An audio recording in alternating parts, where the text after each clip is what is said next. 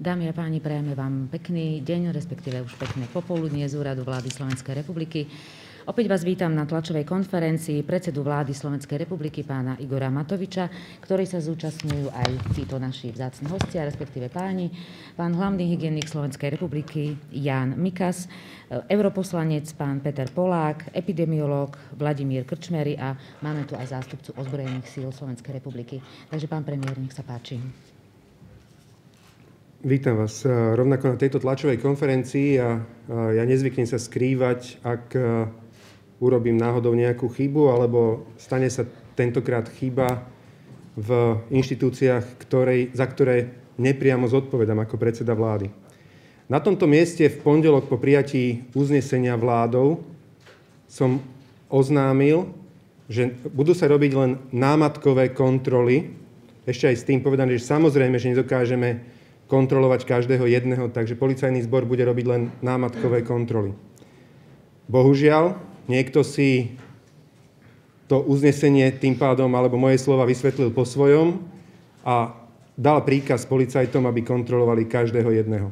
Považujem to za sabotáž uznesenia vlády, lebo chceť za situácie, keď hovoríme, že ľudia majú právo cestovať do práce, majú právo cestovať za lekárom, a úmyselne vytvárať niekoľkohodinové kolóny, to je sabotáž uznesenia vlády. Myslím si, že pán policajný prezident by mal predstúpiť pred kamery a vysvetliť, či to bolo úmyselne, alebo sa to stalo nejakým nedopatrením. Zároveň vzhľadom na to, že ministerstvo vnútra spada teda do vlády, je súčasťou vlády a pod e, ministerstvo vnútra patrí policajné, ale tá poli, e, policajný zbor. Preberám za to plnú zodpovednosť, ospravedlňujem sa ľuďom, ale môžete si pozrieť naozaj na tej tlačovke moje slova a skutočnosť, ako boli vykonané v praxi. Veľmi ma to mrzí. Zároveň ma veľmi mrzí reakcia našich koaličných partnerov, ktorí miesto toho, aby riešili problém, riešili svoje Facebooky, a svoju osobnú kampaň, kde de facto demoralizovali atmosféru medzi ľuďmi, kde znevažovali boj proti koronavírusu a prirovnávali ho k nejakej obyčajnej chrípke, kde znevažovali opatrenia, ktoré sú prijaté a miesto toho, aby teda hovorím, že riešili možno problém, miesto toho si robili kampaň. Toto nie je dobrá cesta a takýmto spôsobom údermi od chrbta nebudeme budovať dobré vzťahy v koalícii. Verím, že koaliční partnery si to zoberú k srdcu a nie len teda vedenia koaličných strán, ale aj ich jednotliví poslanci, lebo sa to opakuje systematicky. Je úplne normálne, že keď vláda príjma nejaké uznesenia, že nie všetci sú vždy za to uznesenie. Ale robiť si kampaň na vlastnú politickú stranu, robiť si kampaň na samého seba, že sa nepostavím za uznesenie vlády v takejto ťažkej situácii, za tak dôležité uznesenie vlády. A hrať sa na svojom piesočku je naozaj nenáležité, je to mimoriadne nezodpovedné a pevne verím, že do budúcna sa tomu koaliční partnery budú vyvarovať. Možno tvrdosť mojich slov pochopíte z toho, čo vám oznámim teraz. Keď eh, posledné dni, možno týždeň, dva, som opakovane cez médiá dostával odkaz, najmä od kolegu Sulíka, o tom, ako by sme mali uvoľniť, uvoľniť opatrenia, aby sme mali otvoriť ďalšie obchody. Od ministra školstva, že máme otvoriť školy pomaly a podobne. A bol som drasticky konfrontovaný aj z médií len za vyslovenie ideí, že by sme mali sprísniť naše opatrenia, lebo jednoducho nemáme ešte vyhraté. Ja som tušil problém a mnohí ľudia si mysleli, že ten problém je len nejaký fiktívny strašiak. Peter Polák, náš spolomocen z vlády pre rómske komunity, pred uh, približne desiatými dňami prišiel s tým, že očakáva obrovský problém v osadách, lebo Peter Pellegrini povedal, že keď príde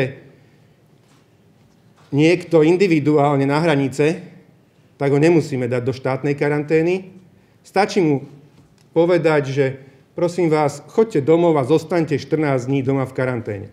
Toto bolo rozhodnutie Petra Pellegriniho, toho zodpovedného bojovníka proti koronavírusu. Keď sme sa to dozvedeli, tak vlastne rýchlo sme začali konať, aby sme toto konanie zastavili a aby sme presmerovali aj tých ľudí, ktorí idú individuálne v autách do štátnej karantény.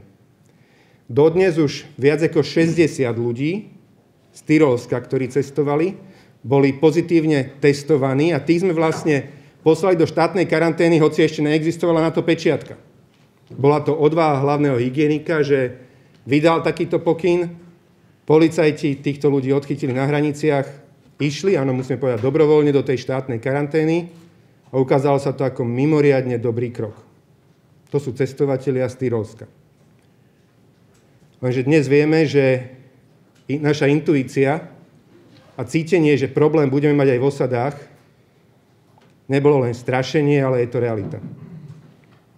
Dnes vieme, a to nie sú ešte výsledky zo včerajška, to sú výsledky ešte z predvčerajšieho dňa, že máme už 5 pozitívnych osád a v týchto 5 osadách alebo lokalitách je minimálne 31 pozitívne testovaných.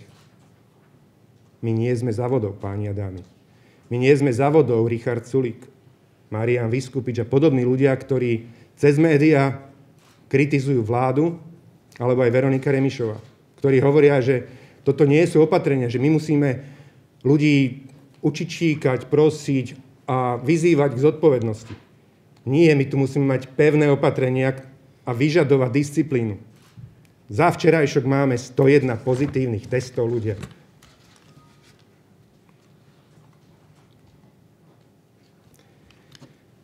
Dokopy včera bolo vykonaných 2042 testov, z toho 101 pozitívnych.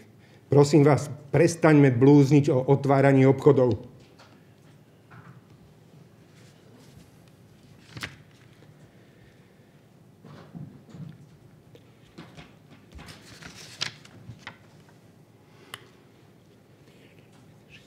Z toho 16 ľudí bolo nad 60 rokov.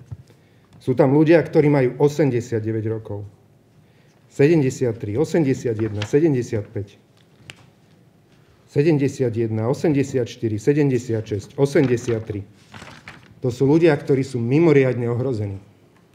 Prosím vás, koaliční partnery, prosím vás, opozícia, prestaňte demoralizovať tých ľudí, ktorí chcú bojovať proti koronavírusu. 90% ľudí na Slovensku si uvedomuje, že sú dôležité tieto opatrenia. Áno, môžu sa stať nejaké individuálne zlyhania, ale spoločne bojujeme náš spoločný boj. Ak my teraz budeme vytvárať atmosféru, to, čo dnes Richard Sulík cez svoje facebookové statusy, že čo tu, však nejak, na nejakú chrípku tu zomre 800 ľudí a tuto kvôli, kvôli 500 pozitívne testovaných my si ideme zrujnovať ekonomiku. A vytvára takto v ľuďoch pocit, že vlastne my tu bojujeme s nejakým fiktívnym nepriateľom, ktorý de facto nie je ani nebezpečný, naozaj to je mimoriadne nezodpovedné a nebezpečné konanie. Prosím všetkých zodpovedných ľudí na Slovensku, buďme o to viac zodpovednejší, o to viac si dávajme pozor. Dnes vieme, že Peter Pellegrini nám zabezpečil darček, ktorý máme dnes v tých osadách. My sme pretestovali 30 osád a je ich ešte vyše tisíc. Ak rovnaká chorobnosť alebo rovnaký počet pozitívne testovaných bude v tých ďalších, nám po Slovensku horí obrovský problém. A títo ľudia v tých osadách sú už 3, niektorí 4 týždne, niektorí 2 týždne. Koľko ďalších ľudí medzičasom na, uh, mohli nakaziť? A zároveň chcem povedať v deň Rómov, lebo dnes je deň Rómov, že títo ľudia za to nie sú vinní. Takisto ako nikto z majority nie je vinný za to, že sa niekde nakazil, takisto ani títo ľudia, ktorí prišli napríklad v tom dnešnom prípade, čo hovoríme o tých 30 ľuďoch, tak sú zo Sheffieldu najmä, čiže z Anglicka. Tí ľudia za to nemôžu, že sa nakazili.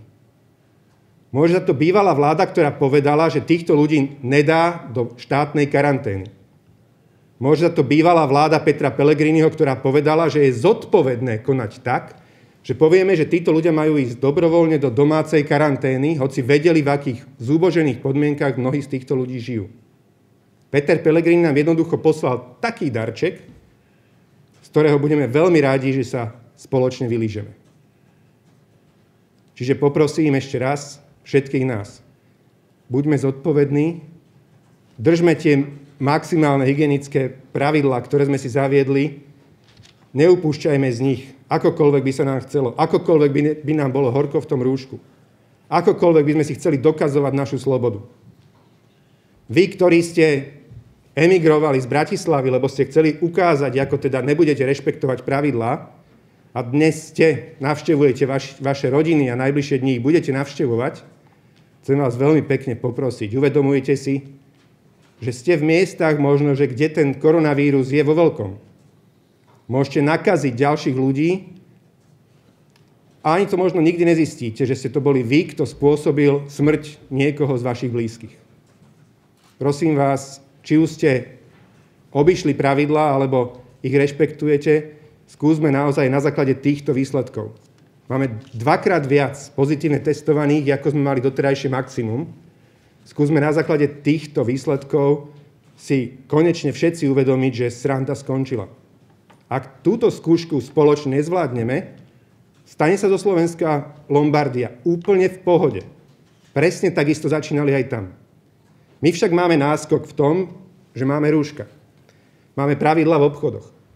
O 40% klesol počet návštevníkov v potravinách, zároveň ľudia kupujú väčšie košiky, to znamená, že kupujú to isté, len dosiahli sme presne to, čo sme tým sledovali.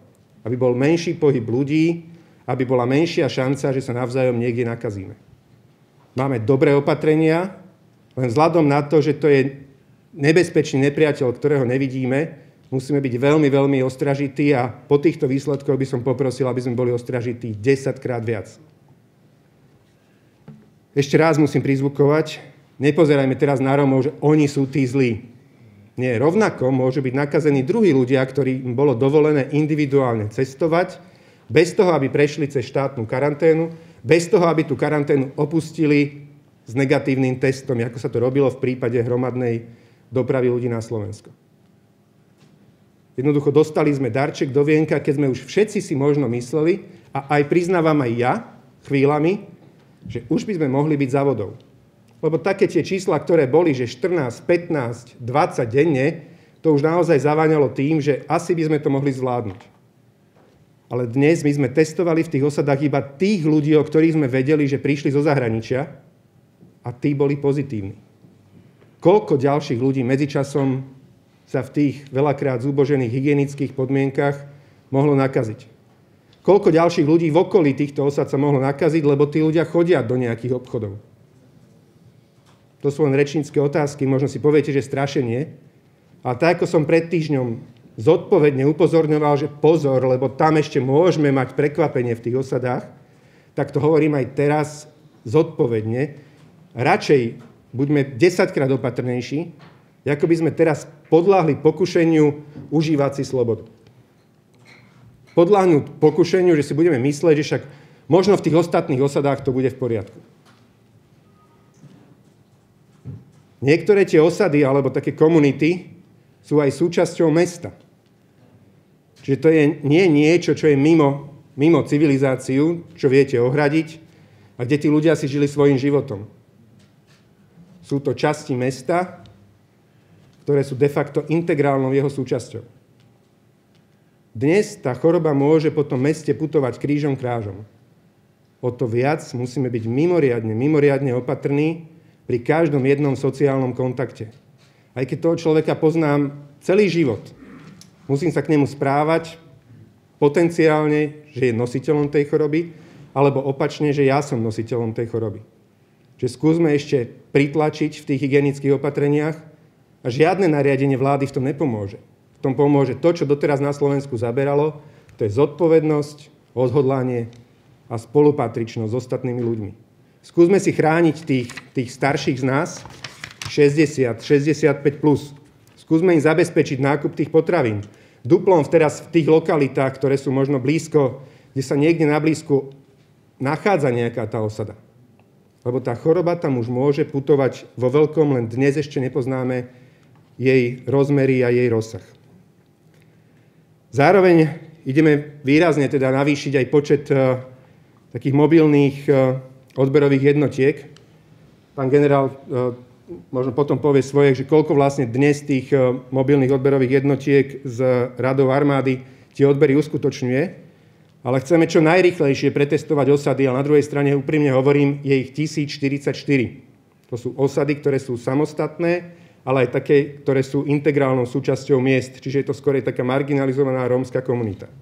Ale zároveň znova hovorím, nechcem najmenej vytvárať medzi ľuďmi teraz pocit, že to tí cigáni z osád sú tí, ktorí nám sem priniesli ten koronavírus. Nie je to ten cigán Peter Pellegrin, je ten človek, ktorý to spôsobil ten povedal, že títo ľudia nemusia ísť do karantény a nemusia byť testovaní. A tento človek sa tu pred nami hral ako riešiteľ a zabezpečil nám darček, z ktorého sa nemusíme tak ľahko spamätať. A veľmi ma to mrzí a bol by som veľmi rád, aby si spýtoval svedomie a za tento svoj skutok, aby sa za to ospravedlnil. Čiže nie je čas, aby sme boli optimisti, je čas, aby sme boli naďalej veľmi, veľmi obozretní aby sme si chránili zdravie, aby sme chránili zdravie svojich najbližších. Nie je čas na to, aby sme zľahčovali situáciu, to je teda doradou najmä koaličným partnerom, ktorí teda by sa mohli začať správať v tejto veci konečne zodpovedne. Je čas na to, aby sme si aj pri nepopulárnych veciach navzájom kryli chrbát páni a dámy z koalície. Aby sme sa tu nesnažili si každý hrať sa na svojom piesočku a silou, mocou pozerať na budúce voľby a strážiť si nejaké percentá. Za seba môžem povedať, aj keď stratím posledného voliča, mojou absolútnou prioritou bude ochrana zdravia a života ľudí. Keď sa pýtate, čo teraz ďalej s tým, eh, áno, vieme o tejto situácii od eh, dnes od rána, preto mi aj nebolo príjemné, keď popri tom sme mali riešiť situa- otázky o ohľade kolón v uliciach a podobne. A ja pevne verím, že aj ľudia dokážu dnes prepáčiť či hodinové, dvoj, či troj, či štvorhodinové kolóny, lebo situácia, ktorá je z medicínskeho hľadiska na Slovensku je o mnoho vážnejšia, jak to, že či sme teda strávili na základe chyby niekoho pár hodín v nejakej kolóne. Máme plán, ale nechceme ho oznamovať e, verejne. Chceme ísť na miesto, ideme teraz práve na miesto, Chceme ho prerokovať s miestnymi vlastne krízovými štábmi v dotknutých obciach. Chceme osloviť aj ľudí, ktorých sa to bude týkať a teda tým pádom aj ten plán a jeho realizáciu vám oznámim ešte dnes večer priamo z tvaru miesta. Poprosím, nech sa páči, pán generál, keďže poviete vy možno o testovaní. Veľmi krátko, pán premiér, vážení novinári, o tom testovaní. Vám sa generál Polčík Pokorný, som zástupca načníka generálneho štábu. E, bolo vykonaných 816 e, testovaní v 33 osadách. Tieto osady boli v podstate vybraté a odporúčané na testovanie ako prvé podľa určitých kritérií. Pracovali 4 odberové týmy s tým, že do budúcnosti sa snažíme tento počet týmov zdvojnásobiť, tak aby sa kapacita testovaní zvýšila. Diskutovali sme aj dnes na permanentnom krízovom štábe o tom, že by sme možno posilili aj mimo ozbrojené síly tak, aby sme ešte navýšili tieto spôsobilosti a tá rýchlosť, lebo jak bolo povedané, tých ľudí, ktoré, ktorí sa nám vrátili do zahraničia, o ktorých vieme, je viacej ako tisíc. Áno, bolo ich otestovaných 816, je ich viacej ako tisíc, to znamená ešte 10 násobne toľko. Budeme testovať zajtra, budeme testovať cez eh, E, sviatky a ide sa stále ďalej tak, aby sme to v krátkej dobe stihli, lebo 31 prípadov nových, 32 dokopy, znamená 64, znamená 128, znamená logaritmicky to narastá. To znamená, toto považujeme za veľký úspech, takže sme zabránili tomuto šíreniu. Ďakujem. Ďakujem pekne. Peter Polak. Dobrý deň. Vôbec nemám radosť eh, dnes povedať to, že mám, mal som pravdu. Nemám z toho radosť. Možno mnohí z nás ako niekedy lutujú, že eh, chvíľu, kedy musia povedať, že mal som pravdu. A je mi naozaj ľúto, že, že sa to stalo a práve teda v Dene Rómu musíme oznámiť takúto zlú informáciu. A z 33 lokalít, ktoré sme testovali, nám vybuchli 3. Samozrejme, to, to vôbec neznamená, že v tých ostatných 30 lokalitách je všetko v poriadku. A v tých troch lokalitách máme 5 lokalít, teda v tých troch obciach máme 5 osad, v ktorých teda títo ľudia žijú. Sú medzi nimi ľudia, ktorí sa vrátili z Anglicka, z Českej republiky a dokonca aj z Maroka. A upozorňovali sme na to, že táto situácia môže teda byť reálnou a stala sa skutočnosťou. A dôležité je, že však naozaj, odkedy som nastúpil do krízového štábu, ja naozaj chcem poďakovať pánovi premiérovi, že venoval tejto situácii dôslednú pozornosť. Sme sa pripravili na tento scenár a dnes máme plán, ako teda prispieť k tomu, aby, aby sme mali túto nákazu pod kontrolou. Som rád, že sme v úzkom kontakte so samozprávami, ktoré, s ktorými intenzívne teda rozprávame celý deň a mm, naozaj je potrebné prijať rozhodnutie v spolupráci s nimi. Verím, že sa nám to podarí. Som vďačný teda za to, že aj napriek tomu, že môžeme si myslieť, že, že prečo armáda, prečo teda lekári v uniformách v osadách teda robia tieto testy. Neby týchto odvážnych ľudí, ktorí sa teda podujali na túto situáciu, teda riešiť ísť do, to, do terénu, tak by sme dnes nemali žiadne výsledky. A všetci, ktorí sme dnes odhalili, by sa slobodne pohybovali vlastne po lokalite, po osadách, ale aj medzi ľuďmi. A šírili tento vírus. Nemali sme žiadnu inštitúciu, ktorá by dostatočne bola pripravená na realizáciu tejto, tejto akcie. Išlo o materiálnu prípravu, personálnu prípravu, technickú prípravu a o skúsenosti, ktoré má. Majú teda práve príslušníci armády, ktorí, ešte raz dôrazňujem, sú to lekári v uniformách. Chcem poďakovať všetkým, ktorí sa naozaj podielajú intenzívne na realizácii tohto testovania aj teda ľuďom z projektu Zdravé regióny s tom zapletení, alebo teda pomáhajú samotní Romovia, ktorí sú súčasťou tohto programu. A nie je dôvod teraz hovoriť o tom, že prečo armáda. Buďme radi, že sme tam išli. Buďme radi, že sme to teda odhalili, aj keď naozaj nemám dnes radosť z toho, že som mal pravdu. Ďakujem pekne. Pána profesora Krčmeryho, poprosím. Ja chcem oceniť prácu toho týmu kolegu Poláka aj ten pôvodný nápad, e, ktorý vlastne identifikoval takéto slabšie miesta, ktoré sú asi dve. Vieme, že drvíva väčšina prípadov, ak nie všetky, sú importované, takže v tejto skupine sa nachádza jedna časť tých importovaných prípadov, ktoré by sme neboli bez tejto stratégie odhalili, e, bez pomoci vojakov a cudzineckej policie, ktorým chcem poďakovať Zažil som epidémiu, kde 90% úspechu ozaj odviedla občianskí aktivisti, policia a armáda a lekári boli vlastne až tej druhej, tretej línii.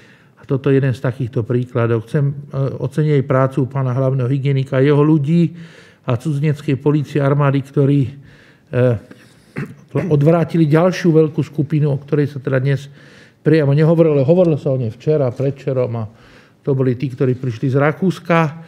Takto je pravda, že máme e, tie počty, ako boli spomenuté, ale dobrá správa je v tej zlej správe, že veľká časť, alebo určitá časť tých, ktorí prišli zo zahraničia, sú v karanténe. E, chcem aj im poďakovať, že znášajú v rámci solidarity s tými zdravými aj títo nakazení tento svoj údel veľkoročný, pretože karanténa není nič príjemné.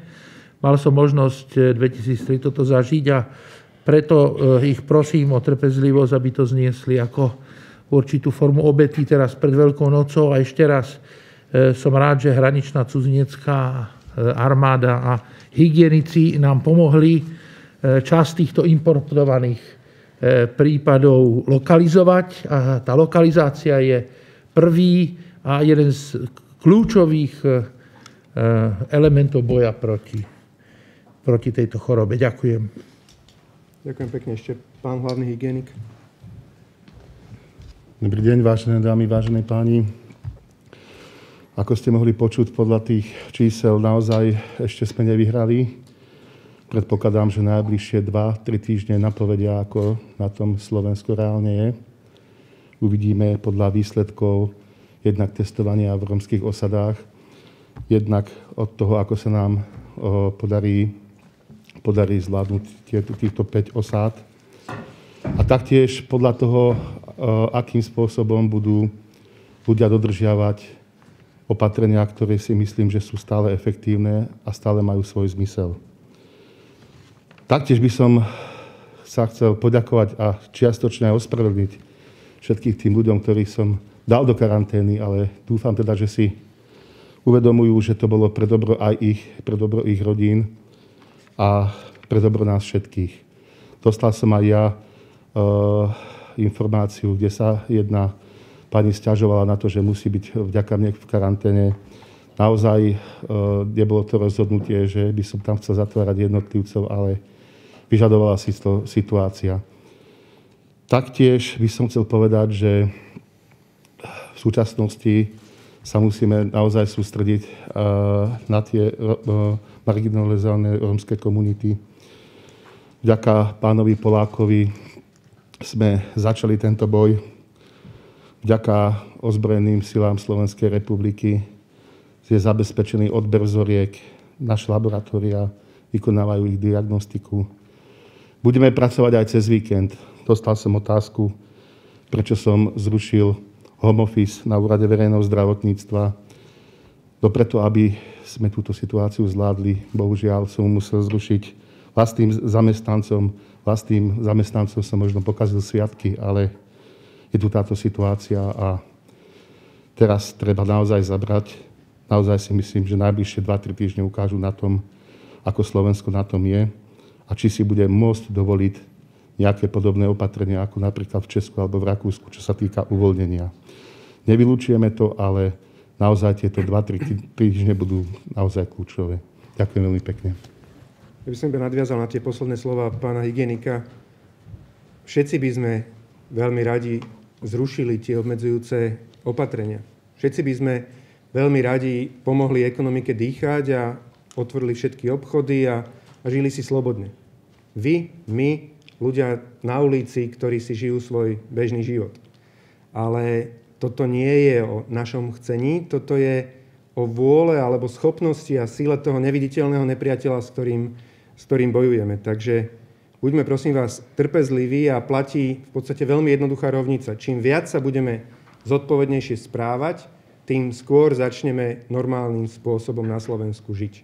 Duplom za tejto mimoriadne vážnej situácie, potom ako sme zistili, že máme zrejme výrazné ohnisko nákazy aj v rómskych osadách. Ale znova to poviem a, a s prízvukovaním toho, že dnes je Deň Rómov, nie Rómovia sú tí, ktorí teraz tu roznášajú vírus alebo môžu nás ohroziť. Poviem, nie len oni. Za posledné 3 dni viac ako 70 nerómov bolo pozitívne testovaných iba, čo boli zachytení v karanténach.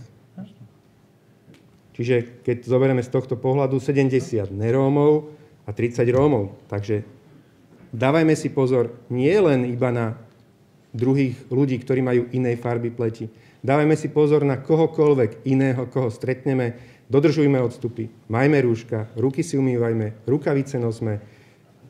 Akceptujme a podporujme skorej uznesenia alebo rozhodnutia hlavného hygienika a nesabotujme ich možno veľakrát aj takým, teda tým, tými rôznymi príspevkami po Facebookoch, kde to zľahčujeme, ale vytvárame atmosféru. Ale sami pod sebou si ten konár takýmto spôsobom pilujeme. A končím tým, čo som začínal. Najmä ma to mrzí, takéto nezodpovedné správanie sa od našich koaličných partnerov, ktorí miesto toho, aby sme teraz stáli v jednom šíku, držali sa za ruky, podporovali sa, tak si ideme pichať dýky od chrbta. Ja verím tomu, že si uvedomia, že situácia je mimoriadne vážna, že sme nie len strašili, ale mali sme pravdu. A ešte raz na záver ďakujem Rómovi medzi nami, Petrovi Polákovi, že prišiel s touto ideou, povedal, tam môže byť veľký problém, poďme do toho, a v podstate poďme chrániť tých ľudí v osadách a poďme chrániť ľudí, ktorí vedľa osad bývajú. Takže ďakujem veľmi pekne páni, každý ste pridali ruku k dielu. Veľmi pekne ďakujem teda ale aj a, najmä teda armádnym lekárom, ktorí tie odbery vykonávajú, aj policajtom, ktorí sú nápomocní, aj ľuďom v osadách, ktorí sú veľmi, som povedal, že si uvedomujú, že keď sa aj odbery robia, tak že to je v ich prospech a v prospech v podstate ochrany zdravia aj samotnej tejto komunity. Nech sa páči, pár otázok, ale skúsme iba takých nejakých Milí kolegovia, áno, Môžete pochopiť. tak predtým, než vám dám slovo, by som vás chcela poprosiť naozaj o zo pár otázok, hlavne k téme, keďže pán premiér, ako avizoval, ešte ide na cesty. Takže najprv teatri, nech sa páči. Dobrý deň, Hanna na teatri. Z tých eh, 101 pozitívnych, eh, koľko, koľko ľudí sa testovalo, aby sme vedeli, že prečo je ten náraz? Či je to kvôli tomu, že sa viac ľudí testovalo, alebo jednoducho je ich viac už? Testovalo sa 2042 ľudí. Z toho je 101 pozitívnych. Tým, že my sme išli vlastne aj do osad na základe tej, tej idei Petra Poláka, išli sme cieľene, že vlastne my sme nešli do osad testovať celé, uh, testovať celé osady, ale najprv sú teraz testovaní iba tí ľudia, ktorým bolo vlastne povedané na hraniciach, že chodte domov do domácej karantény bez toho, aby sme ich vlastne následne kontrolovali a testovali. Čiže testovali sme začali iba týchto ľudí, takže tam tá pravdepodobnosť bola výrazne vyššia, keďže viete, že prišli z tých lokalít, z Anglicka, Talianska, Rakúska, a že tam je väčšia pravdepodobnosť, že sú pozitívni. Zatiaľ teda na Slovensku nemôžeme hovoriť o komunitnom šírení, vždy je tam tá pozitívna cestovateľská anamnéza alebo kontakt s nakazeným? To Zatiaľ vedia nie. odborníci. Zatiaľ Pán profesor Krčmery hovorí, že zatiaľ nie, ale viete, ono, pri tomto prípade, keďže, keďže tam tá inkubačná doba, uh, my dnes poznáme obraz. Zoberte si tú šírku toho problému. Keď teraz zúžim to iba na osady, ale ešte raz vôbec nechcem podporovať nejakú teraz atmosféru, že osady sú našim ohrozením. Komplet, celé Slovensko je našim ohrozením v tejto veci. 1044 lokalít a my sme z toho teraz za 5 dní boli schopní prekontrolovať 30. To sú 3% zo všetkých. A v tých 30 sme dokázali nájsť 30 pozitívnych, čiže kebyže jednoducho takým predpokladom by sme išli, tak možno pozitívnych by bolo tisíc. Ale my zase z osady testujeme iba tých, ktorí prišli zo zahraničia, ale za tie 3 týždne plus minus, ktorí tam tí ľudia strávili, odkedy prišli, prišli do osady, mohli nakaziť ďalších x okolo seba. Čiže tá šírka problému môže byť o mnoho, o mnoho, o mnoho väčšia. My dnes ho nepoznáme a vzhľadom na inkubačnú dobu ešte ho budeme poznať až v budúcnosti. Takže naozaj to je dôvod, prečo veľmi, veľmi dôrazne vyzývam k opatrnosti a môžeme snívať o tom, že si uvoľníme pravidla. Ale jednoducho dnes nie je čas. Bolo by to mimoriadne nezodpovedné. To by bolo škrtnutie tou zápalkou. Ešte mám otázku k tým kolónám. Povedali ste, že zodpovednosť by mal, alebo vysvetľovať by to mal policajný prezident eh, Lučanský, ale pravdou je, že aj minister vnútra, pán Miklec, hovoril, že budú kontrolovať každé jedno auto. Eh, Čiže kde vidíte to zlyhanie a ako teda bude vyzerať tá situácia zajtra? A ešte otázka eh, zároveň k tomu, ako máme čítať tú situáciu v koalícii, keď už teraz zaznievajú takéto silné slova, ako povedal Richard Sulík, toto je šialné, musí to skončiť, alebo pán Vyskupič na riadenie krajiny je potrebný zdravý rozum a mali by sme ho konečne začať používať. No, evidentne Marian Vyskupičný zdravý rozum nemá, keď uh, dehonestuje opatrenia, ktoré majú chrániť zdravie a silou mocou pozerajú iba na peňaženku, ekonomika, ekonomika a je jedno, však to je obyčajná chrípka. Takýto človek pre mňa zdravý rozum nemá a je to aj prejavom jeho statusu. Uh, ja verím ale, že tie vzťahy sa vyčistia v koalícii.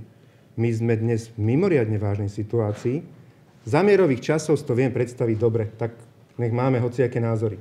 Ale podrážať si kolena teraz, podrážať kolena týmu odborníkov, ktorí vlastne tu v nedelu sedeli, epidemiológov, infektológom, verejným zdravotníkom, ktorí povedali, že toto opatrenie musíme urobiť. Zľahčovať ho, stále sa z neho vyzúvať, my sme za to nehlasovali a podobne. Ako to demoralizuje potom aj uh, to presvedčenie medzi ľuďmi.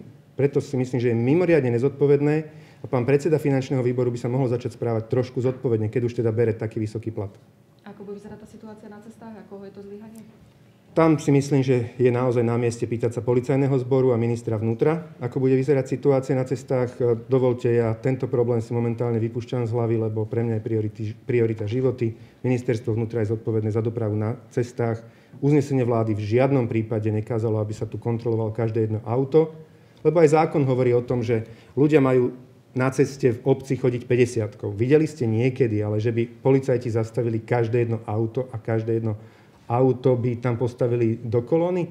Jednoducho všetko musí sa robiť so zdravým rozumom. Ja som preto aj tu na mieste hovoril, a môžete to naozaj strihnúť z tlačoviek, že, alebo z tlačovky, som hovoril, že určite sa nestihne zastaviť každé auto, ale námatkovo sa bude kontrolovať. Bohužiaľ, niekto, ja už si kladiem samotázku, či to bola úmyselná sabotáž alebo neschopnosť, urobil to tak, ako to urobil a zbytočne to zaštuplovalo cesty. Keď raz uznesenie hovorí, ak som povedal, že ľudia majú právo ísť do roboty, ľudia majú právo ísť lekárovi, tak nemôžem ich nechať stať v 10-kilometrovej kolóne niekde na diálnici. Jednoducho je to zlyhanie, páni nech sa dohodnú, kto nesie zodpovednosť a nech sa ospravedlnia za to ľuďom. Ale zase zároveň hovorím, verím, že ľudia možno takéto zlyhanie dokážu prepáčiť s tým, že naozaj bojujeme v situácii, v ktorej sme nikdy neboli, ale prípada mi to trošku nemiestne, že také, nie trochu, dosť nemiestne, že takto si to niekto vysvetľuje. Mám informáciu, že pomaličky sa budú musieť naši hostia zberať, ale predsa len ešte možno RTVS jednu otázku, nech sa páči. Fú, tak jedna otázka, dobrý deň, Bildová RTVS. Ja len v stručnosti budete žiadať vyvodenie politické, osobnej zodpovednosti napríklad od pána Lučanského ešte k tým kolónam a takisto aj k tejto hádke koaličnej. Budete to nejako riešiť na koaličnej rade? Budete možno žiadať nejaké od, od pána Sulika nejaké iné postupy do budúcnosti, aby sa toto nestávalo? Ja som už aj v minulosti to stávalo posledné týždne, že niekto potreboval silou mocou sa ukazovať za lepšieho, ako vlastne v skutočnosti možno bolo to rozhodnutie vlády. Ale my sme v mimoriadne ťažkej situácii a tu teraz nie je čas na to si robiť individuálne politické body alebo vyzúvať sa silou mocou z nejakého možno nepopulárneho rozhodnutia vlády. Ja za seba hovorím, ja budem stáť za každým jedným rozhodnutím vlády, aj keď nebudem za neho hlasovať, lebo jednoducho podľa mňa tak je to správne. Keď raz sme tým, sme tým, alebo mali by sme byť tým. A keď si niekto teda naozaj ide správať ak na pieskovisku v takejto vážnej situácii, vo vojne, doslova, my sme vo vojne s, s, tým nebez, neznámym nepriateľom, alebo teda neidentifikovateľným, tak uh, na to naozaj veľmi mrzí, ale napriek tomu poviem, nie je to pre mňa podstatné. Možno ľudia si teraz povedia, že áno, prečo nehovorí o tých kolonách, lebo ľudí sa to dnes dotklo tie kolóny. Trošku pozerám za obzor. Za obzorom vidím, že keď tú situáciu nezvládneme, budeme tu mať tisícky chorých denne. Ja to nechcem oznamovať. Ja nechcem oznamovať, že nám tu zomierajú babičky, deduškovia. Lebo sme my boli nezodpovední lebo niekto si píše statusy. Lebo niekto nasere s prepačením ľudí s takými kolónami a potom ľudia nebudú akceptovať ďalšie nejaké opatrenia hygienika alebo uznesenia vlády. Lebo aj takéto to môže mať dopady. Preto by som bol rád, aby ten, kto to spôsobil dnes, aby si uvedomil tú svoju zodpovednosť. Lebo dnes obrovské množstvo ľudí zbytočne nasrali, prepačte, to slovo druhýkrát používam, ale to je realita, a ako potom tí ľudia budú pristupovať, keď príjmeme ďalšie opatrenie nejaké a budeme potrebovať od ľudí naozaj rešpekt, disciplínu a zodpovednosť. Znova si povedia, že však to sú tí amatéri, čo tu dlhé kolóny robili. Ja som tie kolóny nechcel. Nikto, kto hlasoval za to uznesenie, tie kolóny nechcel. Jednoducho niekto si ich tam vyrobil a druhým spôsobil problém. A preto poslednýkrát hovorím, buď na schvál, a vtedy je to sabotáž, alebo neschopnosť. Ďakujem veľmi pekne, že ste prišli my ešte sa vám dnes ozveme. Ďakujem pekne. Dovidenia. Ďakujeme veľmi pekne pánom. Ešte vám dlžíme jedno meno. Je tu s nami aj pán generál Jozef Pokorný, člen permanentného krízového štábu, ktorého sme nepredstavili v úvode. Ďakujeme veľmi pekne, ako pán premiér avizoval, bude ešte mať jeden výstup večer, takže tam bude priestor na ďalšie vaše otázky.